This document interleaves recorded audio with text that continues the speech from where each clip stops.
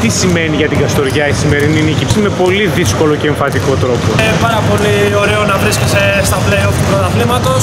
Είναι μάτς που κάθε παίχτης χαίρεται να είναι εδώ. Βλέπουμε συναρπαστικά μάτς, πολύ ανταγωνιστικά. Ασχέτως το μάτς που δεν είχε πολύ σκορ, μεγάλο σκορ, παρόλο είχε πάθος και ένταση, τα χαίρεται ο κόσμος, τα χαίρεται οι παίχτες. Είναι πολύ ωραία. Η Καστοριά σαν στόχο έχει να πάει όσο, όσο ψηλότερα μπορεί και ευελπιστούμε τώρα που φέραμε και τη σειρά στην Καστοριά να κάνουμε το επόμενο βήμα και να πάμε μέσα στα τρίκαλα να διεκδικήσουμε το κάτι παραπάνω. Παρά το γεγονός ότι είχατε το πλεονέκτημα έδρας στη σειρά των αγώνων με τον Πιερικό Αρχέλαο, το χάσατε με την ήττα στην Καστοριά και μέχρι ε, τρία λεπτά πριν από τη λήξη του τελευταίου δεκάλεπτου το σκο... ήσασταν πίσω στο σκορ από το ξεκίνημα του παιχνιδιού σχεδόν. Καταρχήν να δώσω χαρακτήρα στην ομάδα του Πιερικού.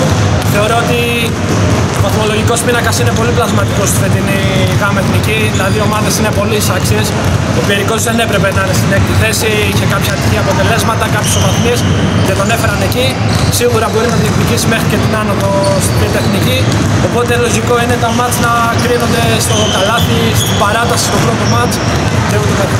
Και να μην παίζει και τόσο ρόλο η έδρα. Εννοείται, η έδρα δεν παίζει κανένα ρόλο, δεν με ήδη δύο φορές έχει σπάσει η έδρα. Οπότε περιμένουμε ένα εξίσου ανταγωνιστικό και ένα ντέρμπι όπως αξίζει σε αυτές τις δύο ομάδες και ευελπιστούμε να είναι ένα ωραίο παιχνίδι και να το χαρούμε και οι δύο ομάδες.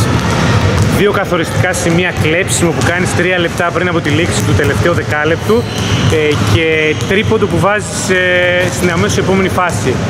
Ήταν αυτά που έγιναν την πλάστικα υπέρ της Καστοριάς. Εντάξει, θεωρώ ότι το κλειδί στην νίκη μας σήμερα ήταν η άμυνα. Κρατήσαμε μια ομάδα σαν τον Περικό στους 54 πόντους.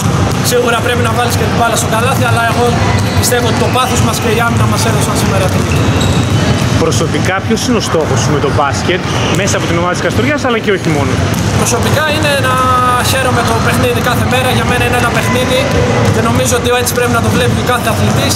Από εκεί και πέρα, όσο περισσότερο και όσο σε μεγαλύτερο επίπεδο μπορώ να παίξω, θα το κυνηγήσω Κλείνοντας, τι σημαίνει αυτή η πρόκριση για την Καστοριά σε μια χρονιά που στη στριλή ουσία των ομαδικών αθλημάτων ο νομός Καστοριάς ε, έχει λίγο την κατιούσα. Γενικά είναι μια πάρα πολύ μεταβατική περίοδος για το σύλλογο της Καστοριάς.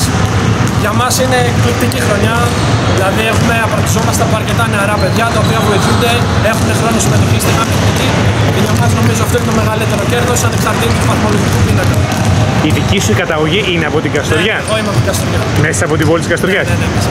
Θεωρείς ότι είναι μια πόλη που αγαπάει το μπάσκετ; Θεωρώ λίγο την Καστοριά ποδοσφαιρική πόλη, αλλά είχε μια 7 8 ετία λόγω των επιτυχιών που αγκάλιασε το μπάσκετ και νομίζω ότι έχει μείνει ακόμα και σήμερα. Το box to box με, με το άργο στο οριστικό. Εντάξει, συμβαίνουν αυτά. Είναι εντάξει, στα ντέρμπι όπως βλέπουμε και στις μεγαλύτερες κατηγορίες. Στα ντέρμπι της πόλης είναι ιδιαίτερα. Δεν παίζει ρόλο η φόρμα, ποιος είναι καλύτερος. Απλά είναι ντέρμπι και κερδίζεις όποιος το θέλει το πόδι. Καλή συνέχεια και σε ευχαριστούμε πάρα πολύ για τον χρόνο σου.